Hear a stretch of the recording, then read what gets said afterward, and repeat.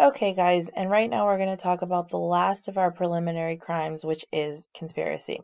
So if you didn't watch the first video on on preliminary crimes, make sure you watch that first. This is the um, second part of that lesson. All right, so guys, when we're looking at conspiracy, this is the definition, and these are the elements of what we're looking at in the state of Pennsylvania. Basically, in order to have a conspiracy, we have to have at least two people. Sometimes conspiracies have two people.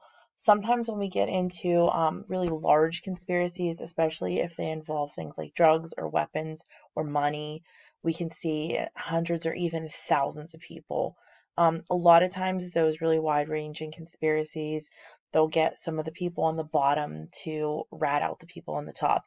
So you may have a pretty wide ranging conspiracy that has hundreds of people, but they're not going after all the lower people.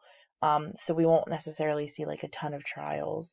But um, conspiracies, uh, you, you just have to have two or more people. They have to agree to commit the crime, and in most states, there has to be a substantial action to further the agreement. In Pennsylvania, the specific um, elements are that you need an agreement with one or more person. So the way it's worded is a little bit different. If you look at it, it's an agreement between two people. Um, when they're charging the individual, they'll say, Did you have an agreement with one or more person? So you can't have a conspiracy with just one person. It has to be the person you're charging, and they had to have an agreement with one more person at least. Okay. And then the next thing we're looking for is an overt act. And the overt act is a little bit different than a substantial step in the um when we talk about attempt. Right? And the overt act is really what we're going to look for here because that's what a lot of people get hung up on. Okay? The overt act is something that is open to view, and this is the thing that a lot of students get mixed up on. It does not have to be something that's illegal. So if you and a friend agree that you're going to rob a bank and you sit in your basement and you talk about it, um, that's not a conspiracy. There's no overt action there, right? If you and your friend agree that you're going to rob a bank and then one of you goes to the store and buys a ski mask to wear while they're robbing the bank, that is an overt act. And this is a thing that a lot of students get mixed up on because the overt act itself does not have to be illegal. You could drive by the bank to stake it out. Driving down the street past the bank is not illegal. Going to the store and buying a ski mask is not illegal.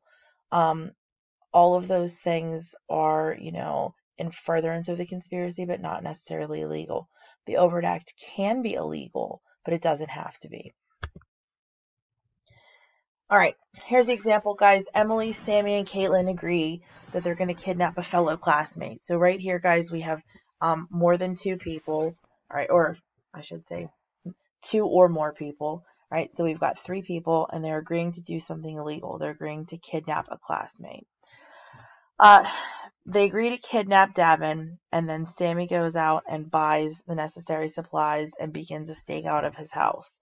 Here's the thing, guys once we have an agreement to commit an illegal act, my son's lightsaber is going off in the background. I don't know if you can hear that or not. Um, once you have an agreement to commit the overt act, all of the parties will be on the hook, even if they don't take any more steps. Um, so once we have the agreement, sorry, let me back up. I'm distracted by the lightsaber. Once we have the agreement to commit the illegal act, even if one party carries it further and actually commits the overt act, that puts everyone on the hook. You don't need a separate overt act for each party. Okay, so in this case, Emily, Sammy, and Caitlin agree they're going to kidnap a classmate. Emily and Sammy pinpoint it to Davin. All right, Caitlin is not part of this decision. All she said was, "Hey, let's let's kidnap a classmate." All right. Then Sammy goes out and commits the overt act, buys supplies, begins a stakeout. Okay? All three parties are going to be. Even if never went any further with the act, with the conspiracy, she's still to be on one person went out and committed an overt act, and that's important to remember. All right? Um, guys, here's a note. In many states, all three parties would be guilty of conspiracy even if the kidnapping is never attempted or accomplished. So maybe that's all they do. Maybe they agree they're going to kidnap someone and then they go and um, buy a ski mask or stake out a house or whatever.